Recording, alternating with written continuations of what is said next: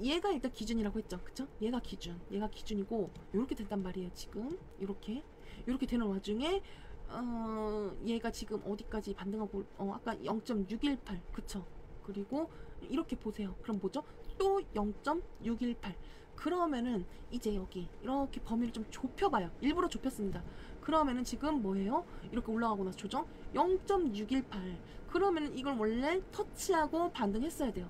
근데 지금 내려가고 있죠. 그쵸? 그러면은 여기 0.382 아시죠? 되돌림 비율 여기 아까 우리가 봤던 얘까지 포함해서 어 0.618, 0.618의 피보나치 비율을 계속 해주니까 연쇄적으로 보면 0.618 지켜주면 좋았는데 어 여러 가지 그것만 보는 게 아니니까 되돌림 비율까지 생각하면 382 그래 2466 어쨌든 여기만 이, 이 구간만 딱 터치를 해주고 어, 이제 막 다 흰소같이 반등? 요, 요 추세선까지 포함해서 그럴 수도 있거든요. 그러면은 1.618 반등을 기대할 수 있는데 얘는 이걸로 기대할 게 아니라 이걸로도 기대가 돼요. 이렇게 해도 되돌림 비율이 0.618이니까. 또 확인해 주는 거는 별로 이상할 게 없으니까. 심지어 이제 이게 아니라 이렇게도 볼 수 있다. 0.618 그리고 1.618 음, 그리고 봤던 게 또 뭐 있죠? 여기가 분위기 결정선이니까 피보나치 비율 요술 한번 쓱 부려보면은 이거 어디죠? 대충 28,420 음, 28,420 대충 이런 거, 어, 대충 이런 거 기대하면서 이런 거 기대하면서 분위기 결정선이 있는데 또 0.618. 그래서 24,000 초반, 그러니까 24,000에서 24,500 범위를 좀 잡아놓는 게 좋아요. 매물대는 여기지만 특히 여기에 지금 피보나치 비율이 굉장히 많이 몰려 있어요. 피보나치 비율이 뭐 꼬리도 있죠. 의미 있는 꼬리 24,400, 350 이런 거. 지금 이게 만약에 진짜 반등이 세요. 전고점이라고 딱 눈에 띈다고 할 만한 데가 어디죠? 당연히 여기입니다. 15,274, 15,300 잡아요. 근데 걔를 조금 넘어져요.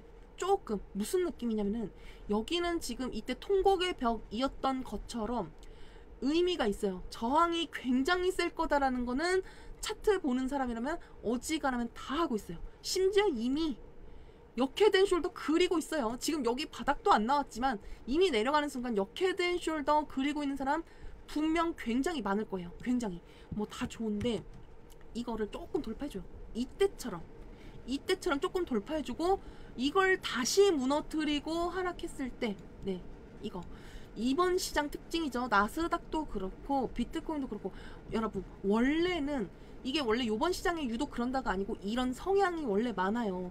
고점을 갱신해 줬는데 특히 심지어 그게 신고점. 그럼에도 불구하고 멀리 못 가고 전고점 무너뜨리면 하락세 매도세 세게 나온다. 이거는 원래 차트적인 성격입니다. 원래. 어, 우리 비트코인 항상 계속 설명한 게 그랬죠. 비트코인이 이번 시즌에 그 모습을 굉장히 많이 보여줬어요. 굉장히. 학습 효과가 일어날 정도로 진짜 한 번, 두 번, 세 번, 네 번, 네 번이나 신고점 갱신하면서 얼마 못 가서 끌려 내려오는 것 때문에 쇼타점이 너무 쉬웠습니다. 솔직히 저는 작정하고 숏만으로 죽일 생각을 해서 잡은 것도 맞지만 엔간해서 숏을 볼 거면은 이런 거는 공포심만 제어하면 신고점이다 막 무슨 장대항봉 뜨고 이러니까 공포심만 제어하면은 쪼타점 잡기 그렇게 어려운 시장이 아니었습니다. 근데 그 모습을 요번에 나스닥도 한 번쯤 보여주고 여기 여기입니다 이제.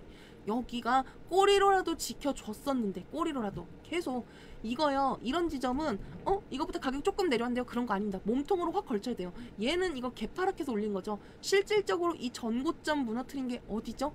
이 음봉입니다 1월 3일. 그래서 그때 우리 1월 달에도 그런 거 막 얘기 많이 했죠. 뭐 크리스마스 때 좀 주차해놓고 통곡의 벽 네가 기어이 못 가겠지 뭐 어 이거 막 별의별 거 우리도 그때 이거 거 잠깐만 통곡의 벽도 중이병이야. 통곡의 벽도 중이병 단어. 네, 어 통곡의 벽도 중이병 단어인데 아무튼 그런 거 많이 얘기했잖아요. 이런 거 언급 많이 했었고 그래서 이때도 결국 보면요 기어이 보면 큰 관점에서 보면은 신고점 돌파해서 얼마 못 가서 여기에 몸통 걸치니까 무너지더라. 네. 딱 그 모습. 그럼 이거 어 매수 받지 말라는 거 왜?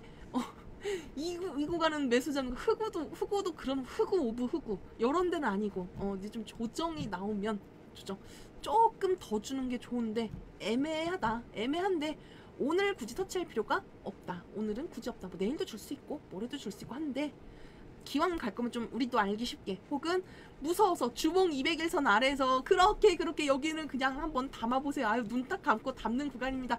아무리 말해도 어, 꾸미분들 너무너무 말랑말랑하고 심성이 고와서 어떻게 어떻게 주봉 200일선 같은 이런 쉬운 자리에서 매수를 받아서 어? 날로 먹을 수가 있겠어요. 저는 조금 더 어려운 길 가시밭길 골라서 가겠습니다. 그러면서 지금 딱 오는 게 지금 이제 시험 들었죠. 아 살 걸 살 걸 하면서 시험 들었고 근데 어 이제 좀 세게 밟아보자. 요거. 그립다 장대 양봉. 요런 거 하나 보시면. 왜냐면 여러분 이 양봉에서는요 아직도 아직도 어지간한 김대 공포심리를 못 벗어나요. 이거 떴는데도 망했잖아. 어차피 데드캣이겠지. 그 심리가 분명 있어요. 이 정도 가지고는 어림도 없어요. 실제로 지금 11,900 오면은 매수를 받는 건 뭐 받는 거고 받는 건 받는 건데 다시 한번 터치해서 지독하게 와 진짜 나스닥 두손두 발 다 들었다. 왜? 이거를 1.0.114 해줘. 야, 이걸 조정을 줘. 11,700, 11,176을 또 간다. 지독하다. 이거, 어, 지금 왜냐면 0.886? 이런 것도 있었고, 해줄 수 있어요. 각오해야 돼요. 이거 11,900 결국 못 지켜주네요. 끝난 건가요? 가 아니고, 지금은 완전하게 시장이 공포에서 벗어나질 못했습니다. 그리고 매매 좀 한다는 사람들도, 매매 좀 한다는 사람들도, 여기에서도 물론 받겠지만, 리스크 관리한다고 시드 들어가려고 예를 들어서 뭐, 뭐 매매, 한, 매매 좀 하는 사람들 100억을 넣으려고 했는데 30억, 50억 정도밖에 못 넣었어. 50억은 좀 봐야 되겠어. 하고 지켜보는 상황일 수 있단 말이에요. 여기서 영혼의 풀매수까지 받는 띨띨이들은 사실 잘 없어요. 리스크 관리, 단타. 왜냐? 장투면 모를까 단타 관점에서는 시드를 넣을 때 넣더라도 한 번에 다 넣으면 안 된다. 한 번에 다 넣으면. 그래서 지금 조금 충분히 0.114까지도 눌러줄 수 있다. 다만, 다만 대신에 어 파월배 서비스 타임 그것이 어 조정 2파동이었다. 어 3파동 세게 줄게. 그러면요 어디서 양봉 나오기가 제일 좋냐? 여기랑 여기. 아이고. 어디서 양봉 나오기가 제일 좋냐? 딱 얘 돌파하는 순간 12,900 거기서부터 거기서부터 여기까지. 여기는 이때처럼 장대 양봉으로 쓱 한 번에 가줄 수 있습니다. 이런 거 돌파하면 돌파하면은 쓱 빠르게 가고 어. 그 너네들 뭐 파동 카운트 지금까지 좀 헷갈렸지? 알고 있어 알고 있어 서비스 타임 한번 어, 해준다 해준다 요거 해줄 수 있는데 아무튼 뭐 각오는 다 하셔야 돼요.